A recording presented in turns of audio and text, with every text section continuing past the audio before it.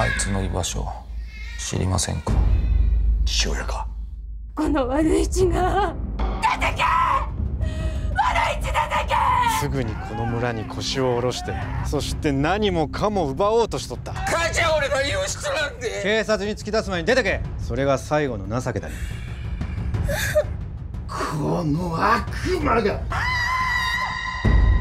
僕がされたようにあいつの人生もめちゃくちゃにしてやりたいんですあ違います。シングルじゃないんです。源一郎さんはダブルなんです。どっちでもいいのに。見返してやろうとか。そういうのはないのか。古い知り合いなんだに。しばらく一緒に住むことになったで。食器洗いもいい。風呂掃除もする。ただ一人だよなそれはなんでこうなんの？ごめんって言ってもしょうがないですけどごめんって言い続けるしかないんじゃないですか。皆さんの祝福を形にしましょう。新地君奇跡が起きました。